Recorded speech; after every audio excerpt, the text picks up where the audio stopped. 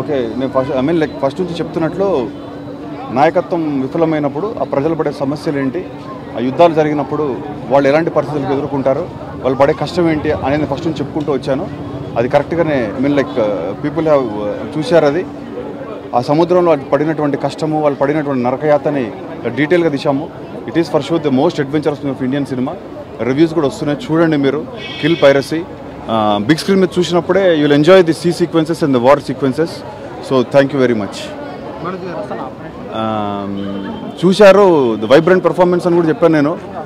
Half an hour war episodes కానివ్వండి ఆ LTT Prabhakaran గారు ఆ ఇంట్రడక్షన్ దాని తర్వాత స్టూడెంట్ రోల్లో ఆయన చేసినటువంటిది.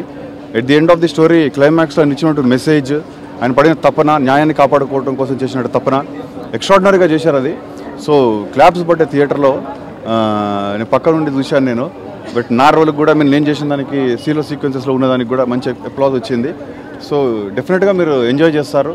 ప్రతి ఒక్కళ్ళు ఎంజాయ్ చేస్తారు ఇది. కష్టపడే వాళ్ళు ప్రతి ఒక్కళ్ళు స్ట్రగుల్ అవుతున్న వాళ్ళు కానివ్వండి అసలు తెలుసుకోవాలనుకునే వాళ్ళు జరిగింది ఏంటి అని తెలుసుకునే వాళ్ళు ప్రతి ఒక్కళ్ళు you will enjoy it you will have a different experience from these అంటే రెగ్యులర్ కంటే కంటే డిఫరెంట్ ఎక్స్పీరియన్స్ మీకు ఉంటుంది డెఫినెట్గా so do watch in theatres thank you ఓకేనా